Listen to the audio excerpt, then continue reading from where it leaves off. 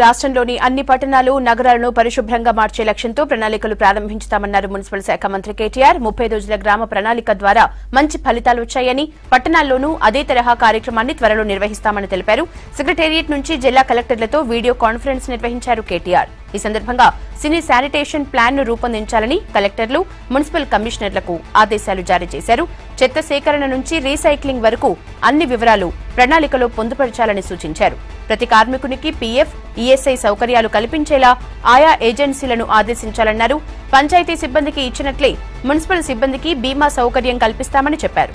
ప్రతి పట్టణానికి dump yard ఉండాలని డంప్ యార్డ్ లేని చోట స్థల సేకరణ చర్యలు తీసుకోవాలని కలెక్టర్లను ఆదేశించారు. ఇప్పటికే అన్ని పురపాలక సంస్థలు ఓడీఎఫ్ సాధించాయని కొత్త మున్సిపాలిటీలు ఓడీఎఫ్ సాధించేలా చూడాలని అన్నారు కేటీఆర్. ప్రతి నగరంలో మహిళలకు ప్రత్యేక షీ టాయిలెట్స్ నిర్మించాలన్నారు.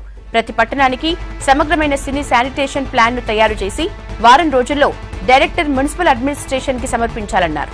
కొత్త మున్సిపల్ చట్టాన్ని అమలు చేయడంలో కలెక్టర్లు ప్రత్యేక శ్రద్ధ చూపించాలన్నారు కేటీఆర్. చట్టంలో పేర్కొన్న గ్రీన్ యాక్షన్ ప్లాన్ తయారు చేయాలని సూచించారు. పట్టణాల్లో పచ్చదనాన్ని పెంచేందుకు పురపాలక బడ్జెట్లో పది శాతం గ్రీన్ బడ్జెట్కు కేటాయించాల్సి ఉంటుందన్నారు.